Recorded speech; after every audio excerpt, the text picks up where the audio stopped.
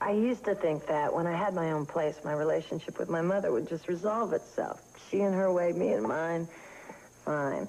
The other day, she tells me if I really want to clean my cappuccino machine, I have to scrub it with that blasting powder she uses. I said, Mother, to make peace with you, I had to give up a lot of old resentments, a lot of anger, a lot of hostilities.